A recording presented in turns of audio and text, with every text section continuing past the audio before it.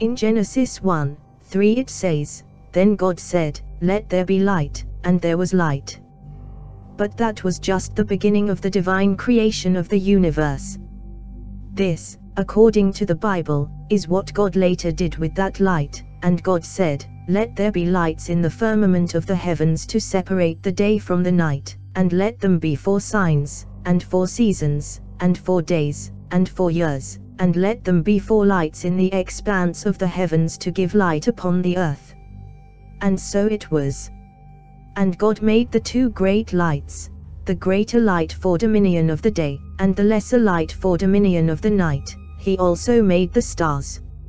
And God set them in the expanse of the heavens to give light upon the earth, and to dominate in the day and at night, and to separate the light from the darkness. And God saw that it was good. Robert Grosseteste his mind was full of rainbows and light rays. In the 13th century, an English scholar of the Franciscan order thought about the subject. Robert Grosseteste worked in one of the great centers of learning in Oxford, which people had begun to call university. For Grosseteste, whose mind was full of rainbows and rays of light, everything, even the primordial divine act of creation itself, had to do with light. However, how exactly did God do it? the response of the religious is truly exceptional. His theory was the first attempt to describe the heavens and the earth using a set of laws.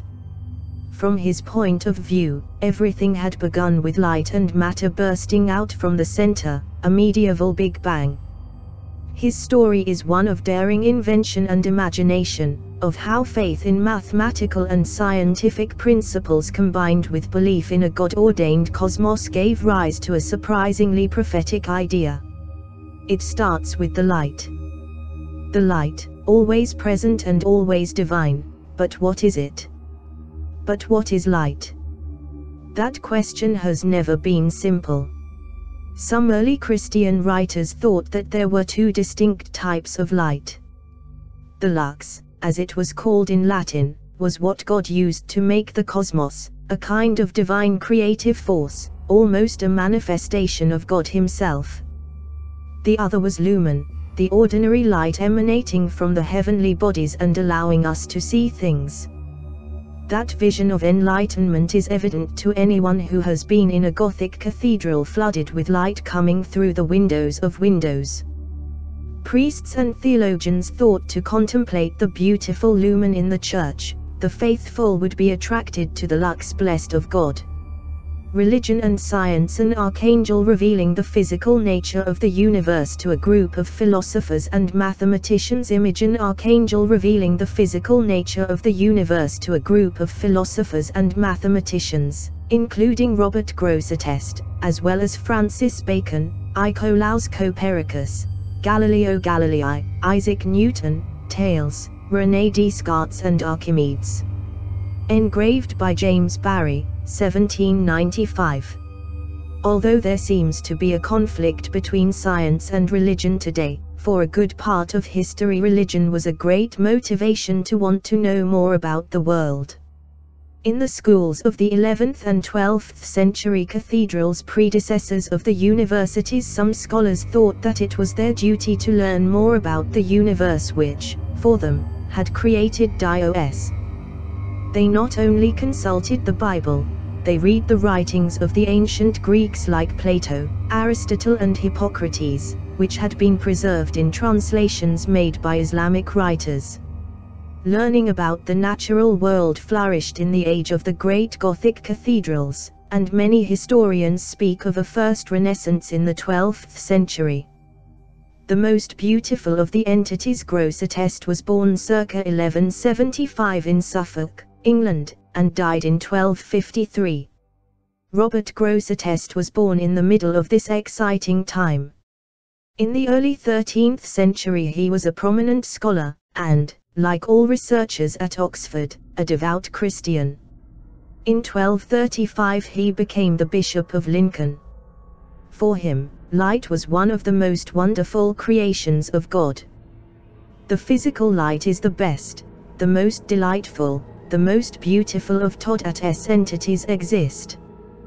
The light is what constitutes perfection and beauty of all physical forms, he wrote. But Grosseteste could not wait to sit down and enjoy the light through the large windows of Lincoln's Gothic cathedral. He began to study it as a scientist. He analyzed, for example, the passage of light through a glass of water. He realized that lenses can magnify objects, and when one reads what he wrote about it he wonders why another 300 years passed before telescopes and microscopes were invented. This part of the optics, when understood well, shows us how we can make things that are a very distant distance seem as if they are very close, and the large things that are nearby seem very small, and how can we make them small things that are far away look like any size we want, so that it might be possible for us to read the smallest letters at incredible distances or count the sand or seeds or any kind of tiny objects telescopes would take three centuries to arrive. He also noticed that light bends when passing from air to glass or water, an effect called refraction. Like others before him, he saw that the light could be divided into a rainbow-colored spectrum, and he wrote a treatise on the rainbows in which he came close to explaining how they formed. He thought the clouds acted as a giant lens that refracted the light and the return of colors. Luce in 1225. Grosseteste gathered what he had learned from light in a book he simply called De Luce, on light. It was a mixture of theology, science, metaphysics, and cosmic speculation. But he was dealing in particular with the question of how God made the whole cosmos using light. Instead of seeing creation as a sort of act of magic, Grosseteste began to transform it into something more like a natural process, something we would now call scientific study. Stained glass of century 19 with the figure of Robert Grosseteste image copyright Creative Commons image caption not content to enjoy the light coming through the windows and color filled the cathedral. Like many of his contemporaries, he believed that God worked with simple principles based on rules that humanity could understand using logic, geometry, and mathematics. He oats the causes of natural effects must be expressed by means of lines, angles and figures, because otherwise it would be impossible to have knowledge of the reason for these effects, he wrote. And, as the universe was governed by mathematics, it was orderly, rational, and its rules could be deduced. In fact, Grosseteste's description of the divine creation recorded in De is so precise that it can be expressed with a mathematical model, something that historians and scientists of the British University of Durham did with the help of a computer. The world machine in its time, Earth was still the center of the universe, and each planet was moved by spheres. For Grosseteste and his contemporaries, the universe consisted of the Earth, the center, and all the celestial bodies the Sun, the Moon, the seven known planets, and the stars revolving around them in perfect circles. But for him it all began with a kind of Big Bang in which an explosion of light of the lux type caused a dense ball of matter to expand, becoming increasingly light and diluted.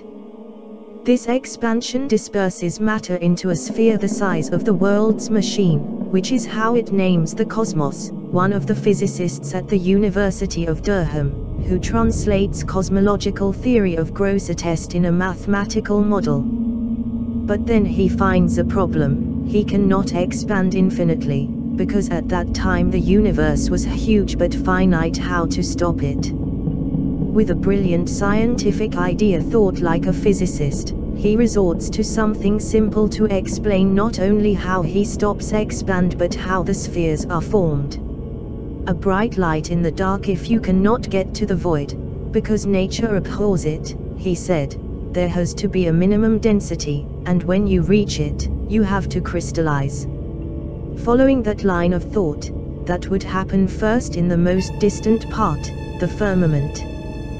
This is crystallized first and is perfected, acquiring light lumen, which also pushes mass, in this case inward, and thus are created the spheres in which the planets, the sun, the moon and the earth reside. portrait of Robert Grosseteste, Bishop of Lincoln, made in the 13th century, giving the blessing with the right hand. The other modern thought he had was that when we look at the sky, the universe we see somehow contains the imprint or echo of the processes that formed it, says McLeish.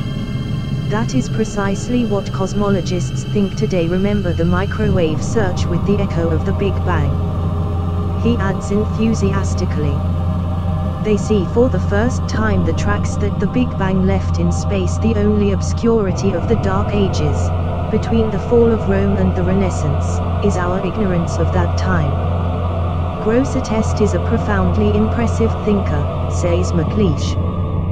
The story they told me when I was young was that before 1600 there was nothing more than mysticism, theology, dogmatism, etc. And suddenly Galileo appeared, Kepler, well.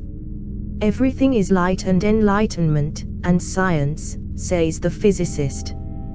But the truth is that science does not work that way. We all take small steps and, as Isaac Newton put it, we all climbed on the shoulders of giants and Grosseteste is one of those giants on whose shoulders the first modern scientists rose.